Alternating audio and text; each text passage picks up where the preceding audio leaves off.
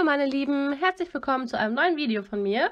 Nach dieser langen Pause, gerade auch von den Reitvideos, habe ich jetzt das erste Reitvideo von Salinera und mir. Und ähm, genau, ich werde dazu ein bisschen was sagen. Das war das zweite Mal, dass ich sie bei uns in der Halle geritten bin. Und das dritte Mal, dass ich überhaupt drauf saß. Einmal beim Probereiten, einmal bei uns zu Hause und dann eben da, wo es gefilmt wurde, noch einmal. Und ja, genau. Ich würde sagen, wir fangen einfach auch direkt mal an. Das war am Anfang, das war einfach locker flockig. Ja, leicht traben am langen Zügel. Die Qualität ist ein bisschen schlecht, sehe ich gerade. Naja, aber ihr kennt es, glaube ich, schon. Genau, da versuche ich sie einfach immer so ein bisschen mit der Nase vorzulassen. Da habe ich dann auch einfach mal, ähm, ja, angaloppiert oder bin ich einfach mal angaloppiert. Auch da muss sie noch weitaus mehr vorwärts. Das fällt ihr noch so ein bisschen schwer. Da versuche ich immer mein Bestes. Ähm, genau, dann hier im Trab im Aussitzen ja, hm. da war einfach auch erstmal mein Anliegen, sie schön vor mir zu kriegen oder die Nase eben vorzubekommen. Da wieder der Übergang zum Galopp. Da finde ich, das sieht der Galopp schon deutlich besser aus. Es ist deutlich mehr vorwärts zu erkennen und äh, genau, ich habe die Zügel ein kleines Stück kürzer genommen, aber auch noch nicht viel. Da ist sie mir einmal ausgefallen. Äh, es fällt mir noch sehr schwer von oben wirklich zu erkennen, ist sie jetzt zu langsam, ist sie jetzt zu schnell. Deswegen äh, ist mir da auch ausgefallen, weil ich dachte, ja, jetzt fühlt es sich ganz gut an. Und dann war es eben doch zu wenig Galopp. Deswegen habe ich da dann auch ein bisschen mehr Galopp geritten. Genau. Ja. Der Galopp ist sehr bequem, aber der Trab ist auch sehr bequem.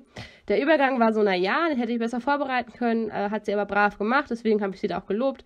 Sie hat genau das gemacht, was ich ihr gesagt habe. Wenn ich ihr das blöd sage, kann sie es auch nicht gut machen. Ja, deswegen war sie da ganz gut. Da bin ich noch leicht getrabt, habe dann den Übergang zum Schritt geritten. Den fand ich ganz in Ordnung. Der Schritt ist auch ganz gut. Leider haben wir relativ wenig Schritt gefilmt, aber naja. Hier dann wieder im Aussitzen, habe ich die Züge schon etwas verkürzt.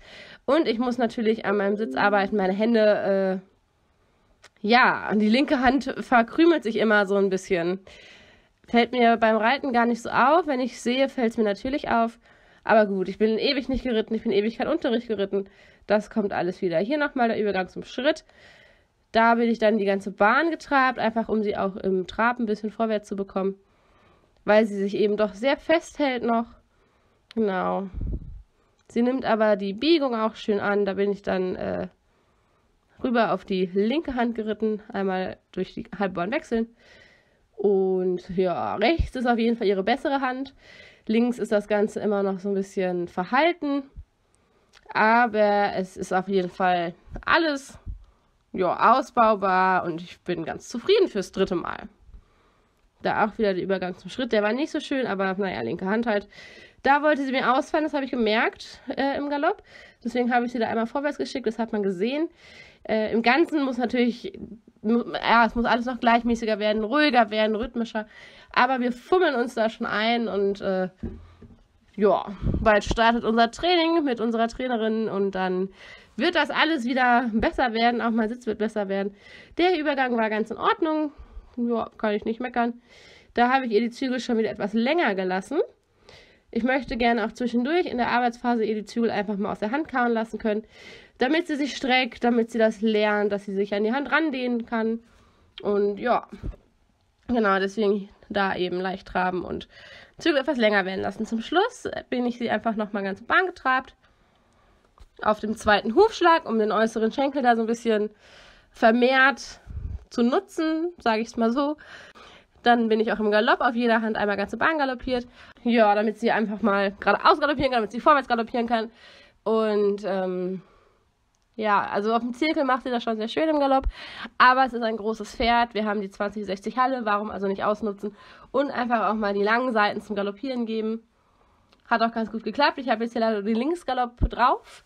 Aber ähm, ich bin auch rechts rum zwei Runden ganze Bahn galoppiert. Einfach damit sie, wie gesagt, geradeaus laufen kann und auch mal durchspringen kann. Und sich eben nicht darauf konzentrieren muss, durchspringen und Biegung.